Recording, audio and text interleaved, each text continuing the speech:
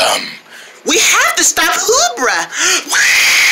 But nobody wants to help us. So it's up to us to stop him. Yeah, we can become heroes and we'll be on TV.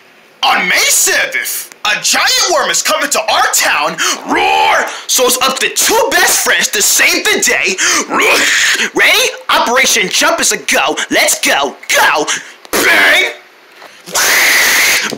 Should wait for the throw. Yeah, good thinking. Houbra.